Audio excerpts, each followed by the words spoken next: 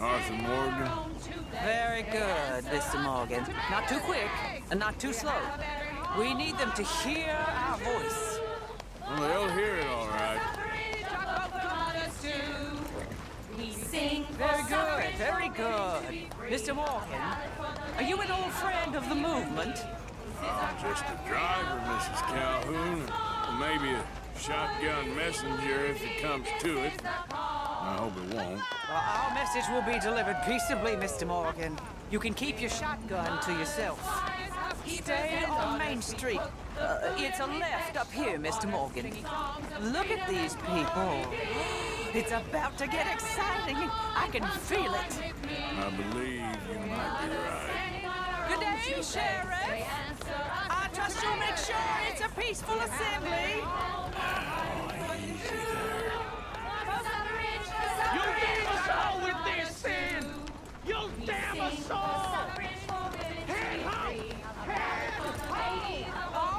Do give it a rest, you sorry fool. Mr. Morgan, I give you the male of the species. Well, that's a pretty dumb specimen, I grant it. Almost there. Take us just a little further, please. Those are the steps, Mr. Morgan. Stop in front there, and then all you need to do is listen.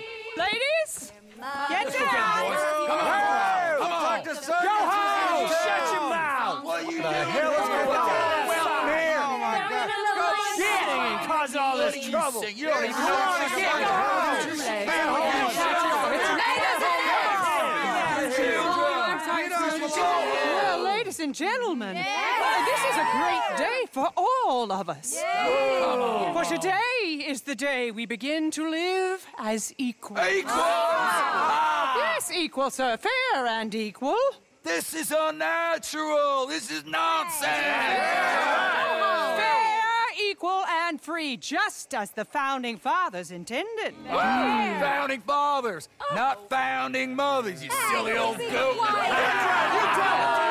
Oh, his philosophy Hey. depended on biology. What the hell are you doing here, boy? Keep your voice down. I'm trying to listen to the speech. Hello, darling cousin. Don't you ever speak to me like that.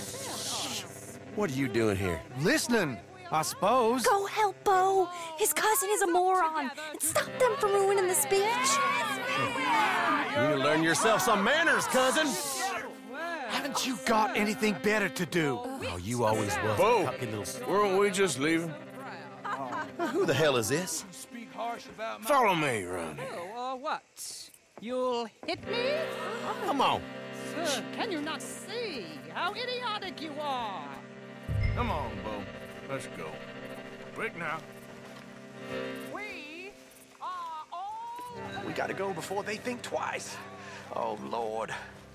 Follow me. I know a place. It's an old battlefield no one goes to.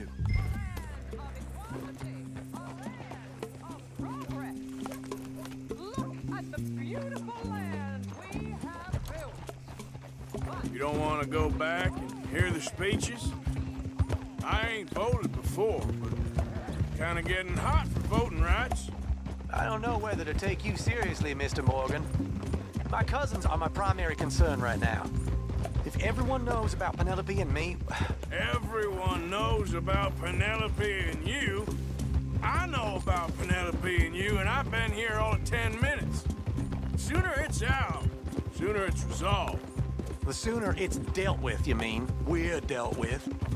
Our families, the Grays and the Braithwaites, we bury our secrets, and we bury them deep. Your secrets and your treasure. You know, Catherine Braithwaite's got a daughter. No one's seen her in years. She weren't right, you know, and Penelope said, I, I ain't heard about daughters. I heard about gold. Well, Yankee Gold? I fear that's just a story, Mr. Morgan. But I don't know.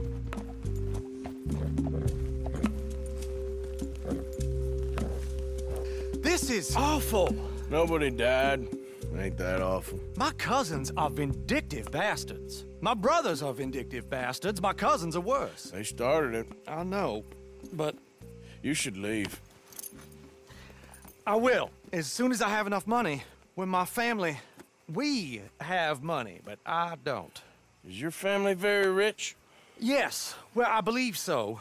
But, uh, they keep me out of the discussions. I have more of a artistic temperament, so Oh, is that what they call it? yes.